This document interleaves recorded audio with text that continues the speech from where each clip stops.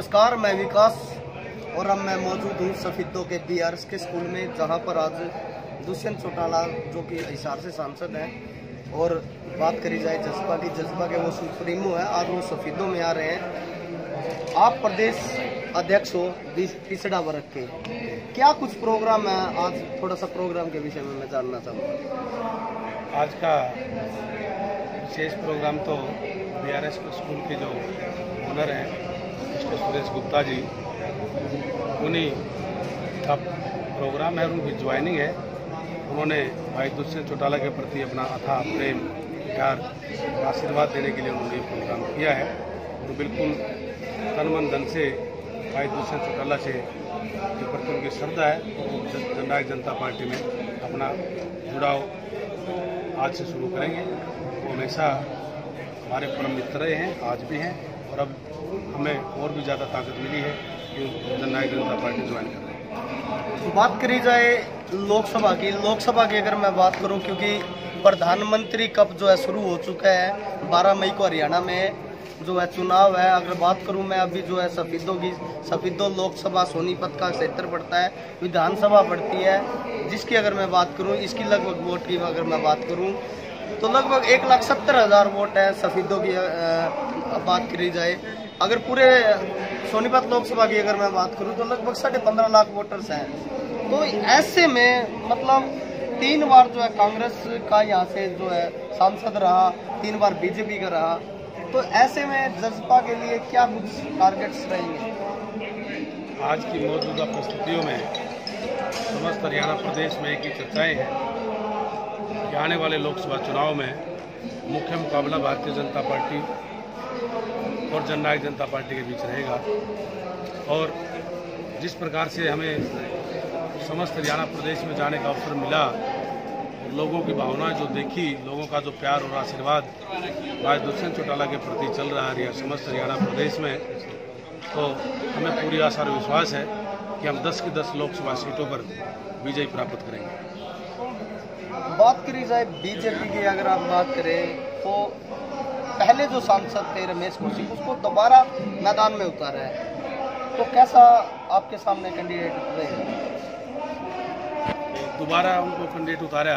उनके पास कोई कैंडिडेट था ही नहीं भारतीय जनता पार्टी के पास। और आज भी बात हो इनके पास कोई उम्मीदवार ही नहीं है।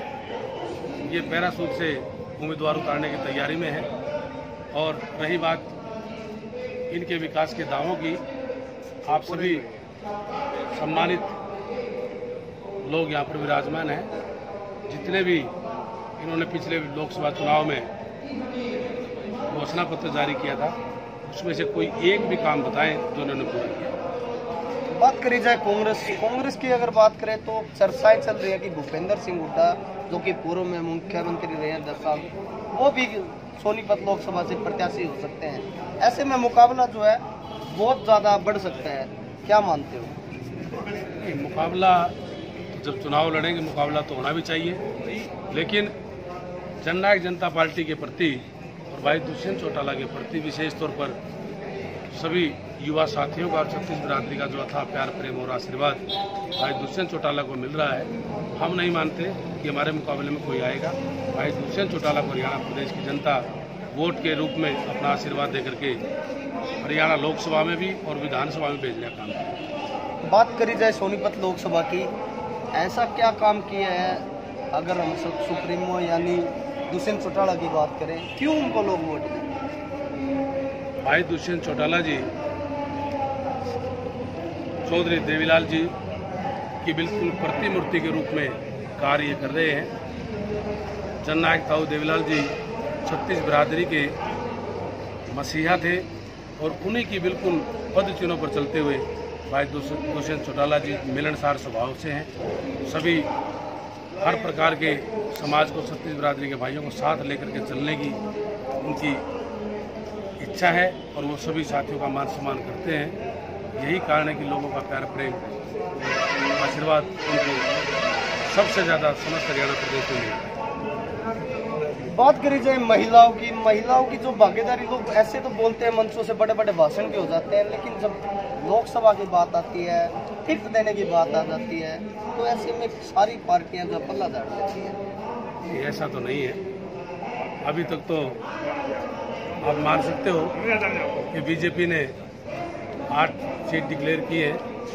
किसी भी महिला को अभी तक टिकट उन्होंने नहीं दिया। और बीजेपी ने तो हमेशा झूठे नारे दिए, बेटी बचाओ, बेटी पढ़ाओ। लेकिन इस हरियाणा प्रदेश में तमाम हिंदुस्तान में अगर सबसे असुरक्षित हैं तो हमारी बहन बेटी है। आपने बीजेपी की बात करी, अगर मैं आज पन्ना प्रमुख का प्रोग्राम जो बीजेपी द्वारा चलाया जा रहा था, उसमें बूथ स्तर के कार्यकर्ताओं को उन्होंने टारगेट करके, उनको उत्साहित करके अपने चुनाव के जो है अपनी तरफ़ से जो है, बिगुल बचा दिया। क्या कहोगे? चुनाव का समय चुनाव नज़दीक है सभी सभी पार्टी कोशिश करती है कि हम मजबूती से चुनाव लड़े। लेकिन 10 बूथ 10 यूथ की जो हमारी टीम है, शायद ही इतना मज़बूत संगठन और इतने मज़बूत युवा साथी जेजेपी के साथ हैं उनके पास एक अच्छा संगठन है अच्छा हमारा मार्गदर्शन है।